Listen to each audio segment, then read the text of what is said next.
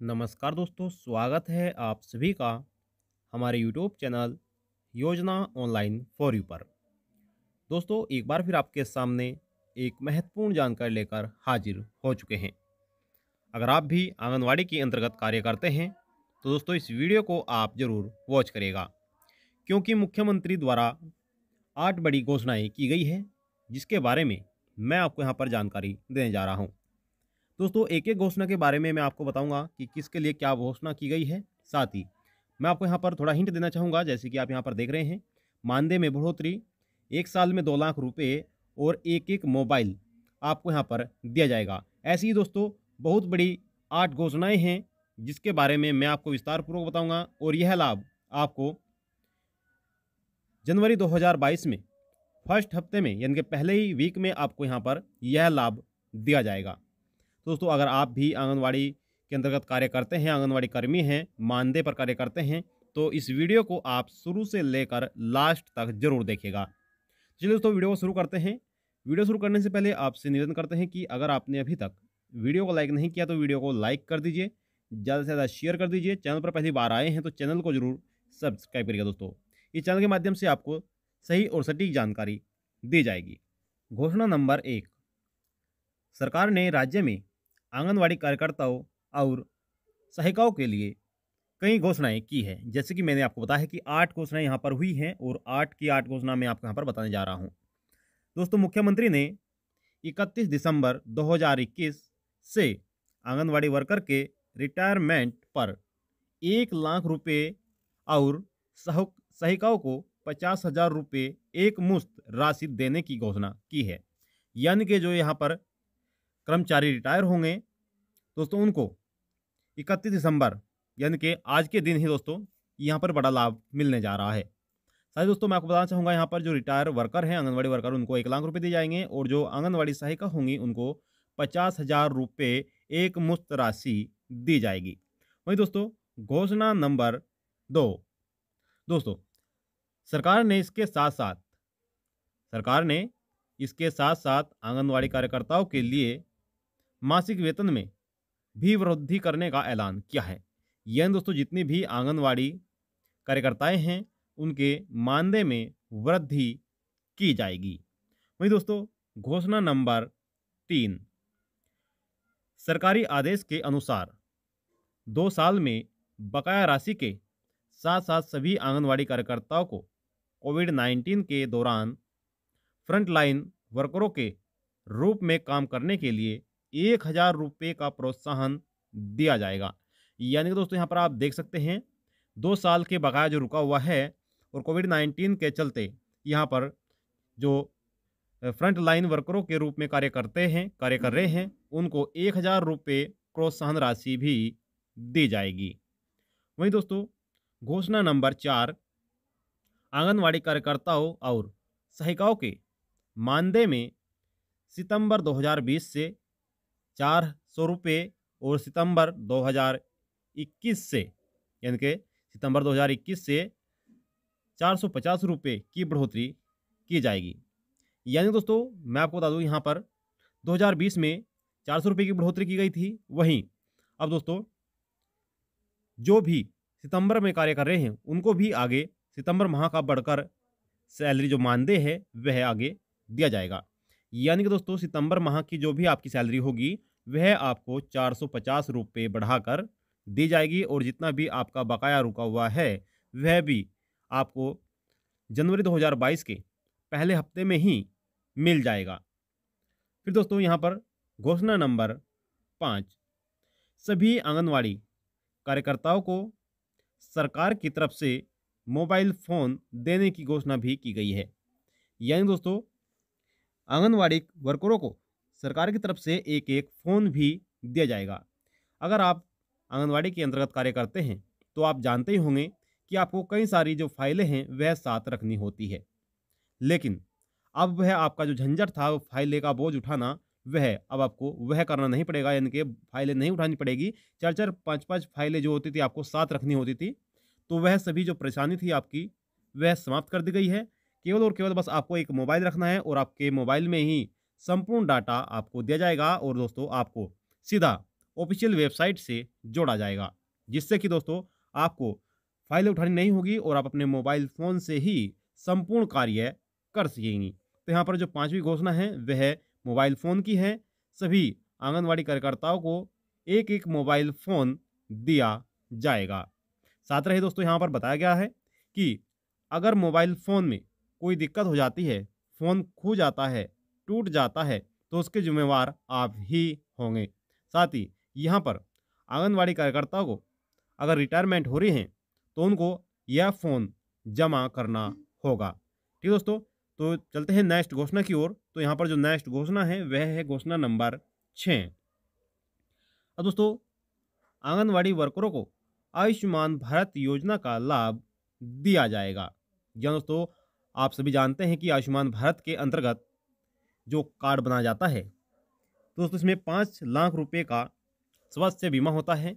एक साल में आपको पाँच लाख रुपए बीमारी के लिए मिलते हैं। अगर साल में आपको कोई भी बीमारी हो जाती है और उस दोस्तों कोई भी गंभीर बीमारी हो जाती है तो पाँच लाख रुपए का जो भी खर्चा होगा, वह सरकार द्वारा उठाया जाएगा। साथ ही दोस्तों, प्रधानमंत्री सुरक्षा बीमा योजना के अंतर्गत दुर्घटना होने पर दो लाख रुपए की सहायता भी दी जाएगी। यानी कि अगर आंगनवाड़ी वर्करों की, आंगनवाड़ी सहायकों की दुर्घटना हो जाती है, मृत्यु हो जाती है तो उनको दुर्घटना बीमा भी दिया जाएगा और दुर्घटना बीमा में दो लाख जो तो दो लाख रुपए का बीमा उनके परिवार वालों को दिया जाएगा। अगर कोई हाथ टूट जाता है, यानी कि शरीर का कोई भी अंग पूर्ण रूप से डैमेज हो जाता है तो उनको एक लाख रुपए का लाभ दिया जाएगा, जिससे कि वे अपना उपचार करा सकें और जो भी सहायता है वह दोस्तों उनको दी जाएगी। चलते हैं नेक्स्ट घोषणा की ओर। दोस्तों, घोषणा नंबर यहाँ पर सात। दोस्तों, घोषणा नंबर सात में क्या बताया गया है और क्या घोषणा की गई है, वह भी आप यहाँ पर देख सकते हैं। दोस्तों, यहाँ पर बताया गया है कि मुख्यमंत्री ने कहा है कि आंगनवाड़ी केंद्रों से किसी भी आंगनवाड़ी वर्ग कार्यकर्ता एवं सहायिका को हटाया नहीं जाएगा। जस्ट जो मानदेय पर कार्य करते हैं, उनको किसी भी प्रकार का अगर कोई गलती हो जाती है तो उनको केवल वार्निंग दी जाएगी, सीधा हटाया नहीं जाएगा। और दोस्तों, यहाँ पर बताया गया है कि जो आंगनवाड़ी कार्यकर्ता हैं, वह लगातार जो जैसे कि सरकार में सरकारी कर्मचारी होते हैं और अपनी समय अवधि के अनुसार उनको रिटायर किया जाता है तो इसी प्रकार से अब आंगनवाड़ी कार्यकर्ताओं को, आंगनवाड़ी सहायिकाओं को भी इसी प्रकार से रिटायर किया जाएगा, ना कि आपको बीच में हटाया जाएगा। वहीं दोस्तों, काफ़ी लंबे समय से धरना प्रदर्शन चल रहा था, आंगनवाड़ी मानदेय को लेकर परमानेंट को लेकर और प्रमोशन को लेकर। तो मैं आपको बताना चाहूँगा कि सरकार द्वारा मानदेय में बढ़ोतरी कर दी गई है। साथ ही दोस्तों, जो सुपरवाइजर वर्कर हैं उनके लिए भी, यानी कि सुपरवाइजरों के लिए भी एक बड़ी खबर है, जो मैं आपको यहाँ पर बताऊँगा। लेकिन उससे पहले आपको बताना चाहूँगा कि काफ़ी जो कमेंट आ रहे थे आंगनवाड़ी सुपरवाइज़र को लेकर कि सुपरवाइज़र की भर्ती कब कराई जाएगी तो मैं आपको बताना चाहता हूँ कि मीडिया रिपोर्ट के मुताबिक बताया जा रहा है कि आंगनवाड़ी सुपरवाइज़र की जो भर्ती है, वह फरवरी 2022 में आने जा रही है। इसमें आपकी जो योग्यता होगी, वह ग्रेजुएशन होगी, अगर आपकी ग्रेजुएशन है तो आप आसानी से सुपरवाइज़र के लिए नई भर्ती के लिए आवेदन कर सकते हैं। दोस्तों, इसमें आपको एग्ज़ाम भी देना होगा इंटरव्यू भी देना होगा, यानी कि आपको यहाँ पर दो तीन प्रक्रिया, प्रक्रियाओं से होकर गुजरना होगा, तभी आपको यह नौकरी हो पाएगी। अगर आप एग्ज़ाम में पास हो जाते हैं तो फिर आपको इंटरव्यू में भी पास होना होगा।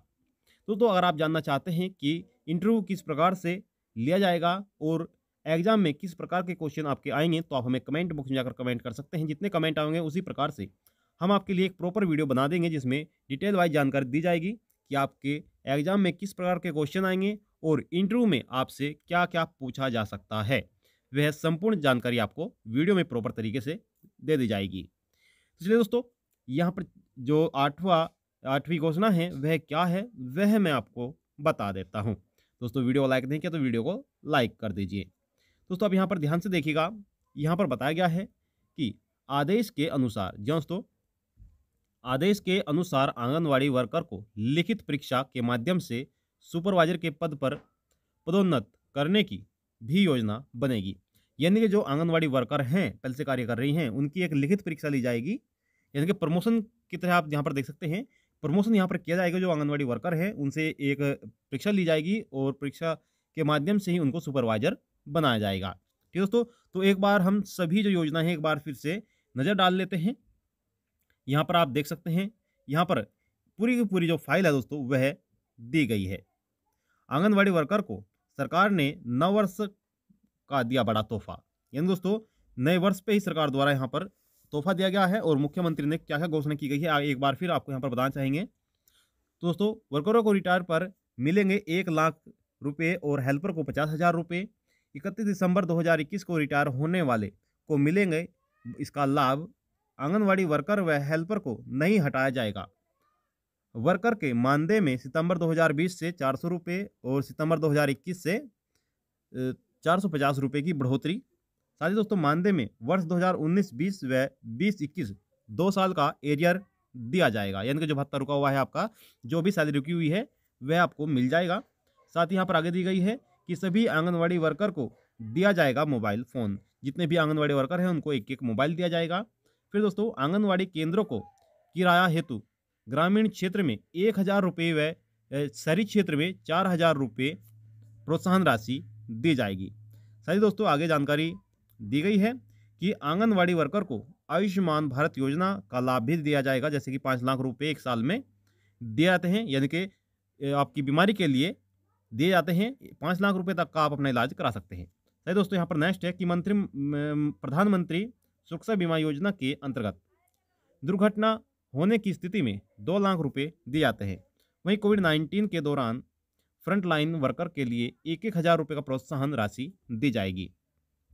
दोस्तों, मैं आपको यहाँ पर बताना चाहूँगा, जो यहाँ पर बताया गया है कि किराए के हेतु यहाँ पर आपको एक हज़ार रुपये दिए जाएँगे और चार हज़ार रुपये दिए जाएँगे। वहीं यहाँ पर बताया गया कोविड नाइन्टीन के दौरान जो फ्रंट लाइन वर्कर के लिए कार्य करते थे, जन यानी कि जो फ्रंट लाइन में कार्य करते थे, उनको एक एक हज़ार रुपये का प्रोत्साहन राशि भी दी जाएगी। साथ ही दोस्तों, यहाँ पर आप देख सकते हैं, यहाँ पर बताया गया है कि आंगनबाड़ी वर्कर को लिखित परीक्षा के माध्यम से सुपरवाइजर के पद पर प्रोन्नत के लिए उन्हें दोस्तों एग्ज़ाम देना होगा और सुपरवाइजर वह बन सकेंगे। सही दोस्तों, यहाँ पर आगे जानकारी दी गई है कि आंगनवाड़ी सॉरी प्रदेश में आंगनवाड़ी के साथ साथ क्रेच भी खेले जाएँगे, खोले जाएँगे, सॉरी, खोले जाएँगे। तो दोस्तों, यहाँ पर आप देख रहे हैं, जो भी घोषणा की गई है, वह मैंने आपको यहाँ पर बता दिया है। अब दोस्तों, बात आती है कि यह किस राज्य की है तो मैं आपको वह भी जानकारी देता हूँ। तो दोस्तों, जो यह राज्य है, यह जानकारी है, यह केवल और केवल हरियाणा राज्य की है। यहाँ पर आप देख सकते हैं, जो मुख्यमंत्री जी हैं, मुख्यमंत्री द्वारा यहाँ पर यह घोषणा की गई है। अगर आप किसी अदर राज्य से हैं, दोस्तों, उत्तर प्रदेश, पंजाब, बिहार, राजस्थान, जिस भी आप राज्य से हैं और आप भी आंगनबाड़ी के अंतर्गत कार्य करते हैं, वर्कर हैं तो आप हमें कमेंट बॉक्स में जाकर कमेंट कर सकते हैं। आपके लिए एक प्रॉपर वीडियो बनाई जाएगी कि आपके लिए क्या क्या घोषणा हुई है और क्या घोषणाएँ आगे होने वाली है। तो दोस्तों, ये थे आपके लिए महत्वपूर्ण जानकारी। आपको जानकारी कैसी लगी, हमें कमेंट बॉक्स में जाकर ज़रूर बताएगा निवेदन यह करेंगे कि अगर आपने अभी तक वीडियो को लाइक नहीं किया, दोस्तों, वीडियो को लाइक कर दीजिए, ज़्यादा से ज़्यादा शेयर कर दीजिए। चैनल पर पहली बार आए हैं तो चैनल को ज़रूर सब्सक्राइब करेगा दोस्तों, मैं आपको बताना चाहूँगा कि इस चैनल के माध्यम से जो भी जानकारी दी जाएगी, केंद्र सरकार द्वारा और राज्य सरकार द्वारा जो भी नई अपडेट आती है, उसी के ज़रिए हम आप तक जानकारी पहुँचा पाते हैं। या फिर मीडिया रिपोर्ट के मुताबिक जो भी जानकारी दी जाती है, उसी के ज़रिए हम आप तक जानकारी पहुँचा पाते हैं। दोस्तों, हम अपनी तरफ़ से कोई भी जानकारी आपको नहीं देते हैं तो कोई भी निगेटिव कमेंट ना करें, आपसे निवेदन है हाथ जोड़कर कि दोस्तों, हमारा मकसद केवल और केवल आप तक जानकारी पहुंचाना है। जो भी सरकार द्वारा घोषणा की जाती है और जो भी राज्य सरकार द्वारा, केंद्र सरकार द्वारा अपडेट आता है, उसी के ज़रिए हम आप तक जानकारी पहुँचा पाते हैं। दोस्तों, चैनल को सब्सक्राइब नहीं किया तो चैनल को ज़रूर सब्सक्राइब करिएगा। आने वाली जो घोषणाएँ होंगी, वह भी आपको सही समय पर मिलती रहेंगी। आप चाहते हैं आपसे ज़्यादा और मिलते हैं आपको नेक्स्ट वीडियो में, दोस्तों, तब तक के लिए जय हिंद, जय भारत।